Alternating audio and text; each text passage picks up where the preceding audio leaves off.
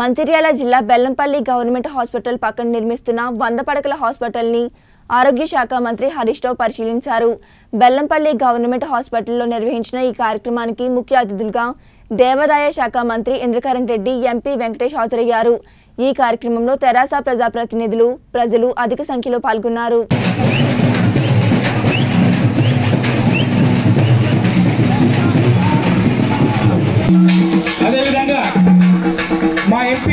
వెంకటేశ్వర గారికి కూడా హృదయపూర్వకంగా స్వాగతం సుస్వాగతం తెలియజేస్తున్నాం తొందరగా తెప్పియాలి ఇక్కడ కూడా పడతాయి. ప్రజాప్రతినిధులు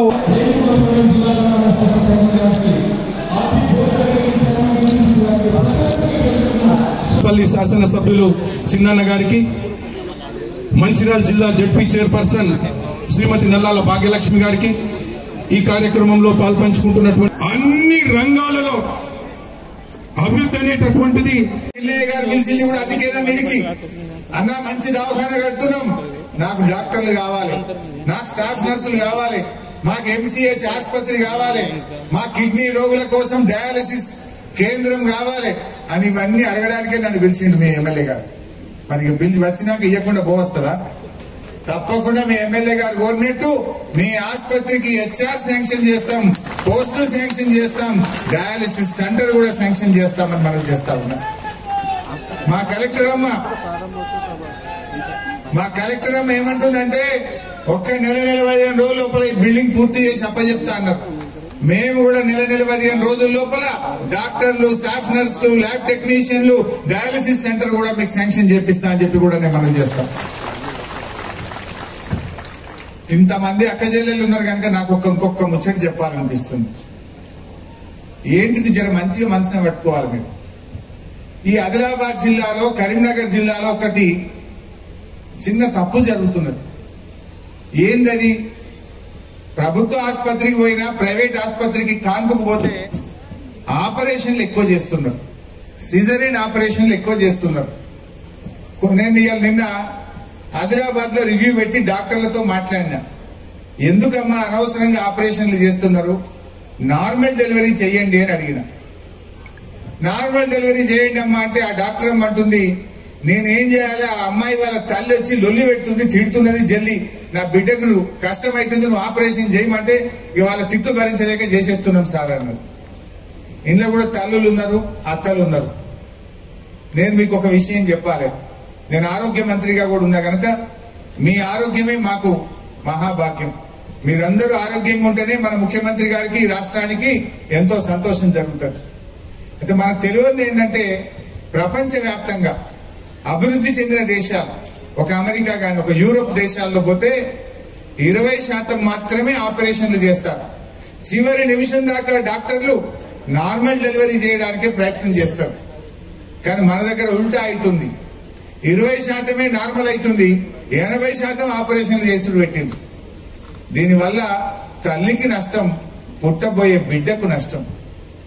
మీరు గమనించాల్సింది ఏంటంటే అనవసరంగా ఆ తల్లి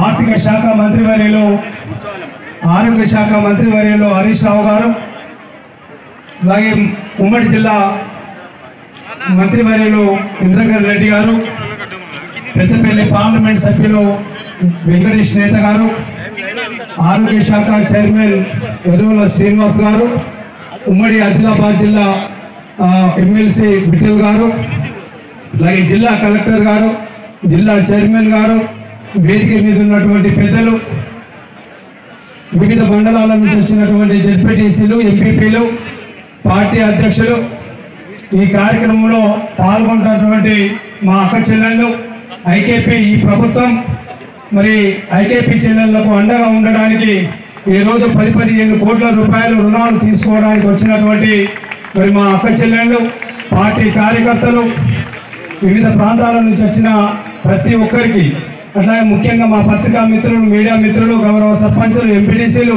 అందరికీ కూడా పేరు పేరున నమస్కరిస్తూ ప్రభుత్వ అధికారులకు కూడా నమస్కరిస్తూ మరి రమేష్ రెడ్డి గారు డిఎంఈ వచ్చారనుకుంటాను.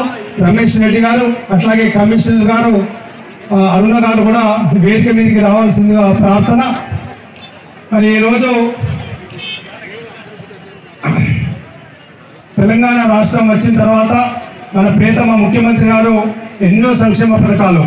ఈ రాష్ట్రంలో ఉన్నటువంటి పేద బడుగు బలహీన వర్గాల కోసం ఎన్నో సంక్షేమ పథకాలు అభివృద్ధి కార్యక్రమాలు చేస్తున్న సందర్భంలో ముఖ్యంగా అట్టడుగునున్నటువంటి పేదవాళ్ళందరికీ మరి ఆరోగ్యం అట్లాగే విద్య ముఖ్యమైనటువంటివి మరి నాణ్యమైనటువంటి ఆహారాన్ని అందించి నాణ్యమైనటువంటి విద్యను అందించి అట్లాగే నాణ్యమైనటువంటి వైద్యాన్ని అందించడానికి ముఖ్యమంత్రి గారు ఎన్నో కార్యక్రమాలు తీసుకుంటున్న సందర్భంలో ఈరోజు మరి మన ఆదిలాబాద్ ఉమ్మడి జిల్లాలో ఎన్నో ప్రాంతాలలో మరి హాస్పిటల్స్ ఓపెన్ చేసుకుంటూ మన జిల్లా కూడా రావడం మన నియోజకవర్గానికి కూడా రావడం జరిగింది.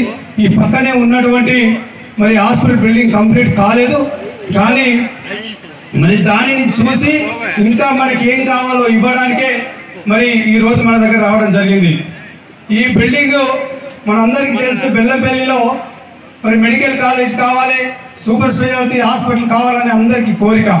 ఇక్కడే పక్కన ఒక పదిహేను ఇరవై సంవత్సరాల క్రింద ఒక మెడికల్ కాలేజ్ మంజూరైంది బెల్లంపల్లికి. కానీ దురదృష్టవశాత్తు అప్పుడున్నటువంటి పరిస్థితిలో ఎందుకో కానీ అది క్యాన్సర్ కూడా కావడం జరిగింది. అందుకే ఇక్కడ ఉన్నటువంటి ప్రజలందరికీ కూడా